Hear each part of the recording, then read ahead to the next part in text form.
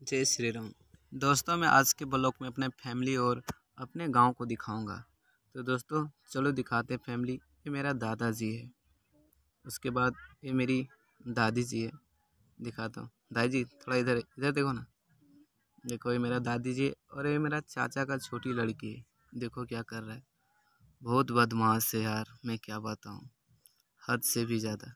देखो तो मैं अपने मम्मी से मिलाता हूँ। ये मेरी मम्मी है। उसके बाद ये मेरे चाचा का बड़ी लड़की है। उसके बाद चलता हूँ मैं, अपना गाँव दिखा देता हूँ कि कैसा है। मुझे तो बहुत प्यारा लगता है। आप देख लें एक बार।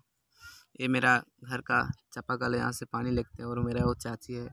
ये मेरे घर का पीछे से रास्ता गुजरा है, जैसे इधर और वो जो दिख रहा है मंदिर लोग। मेरे दुर्गा माँ का मंदिर, जो अगले वीडियो पर मैंने दिखाया था। एक पहाड़ी है। पहाड़ी के नीचे मेरा गाँव पड़ता है।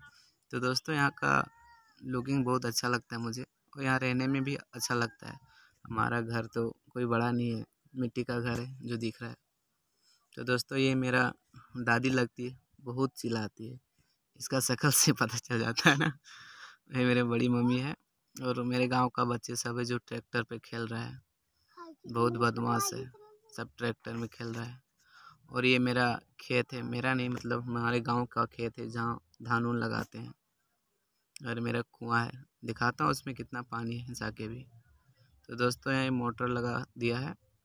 दिखाता हूँ कितना पानी है इसमें। तो दोस्तों ये ज़्यादा पानी भी नहीं है, गर्मी का मौसम है तो सूख गया है। तो ये इसको क्या बोलता है, शायद अभी याद नहीं था मुझे। ये मेरे गाँव का कुछ दो चार घर है। उसके बाद दोस्तों इधर का नज़ारा तो सब ठीक है। तो दोस्तों मिलते हैं अगले ब्लॉक में। तब तक के लिए टाटा बाय बाय। मिलते हैं।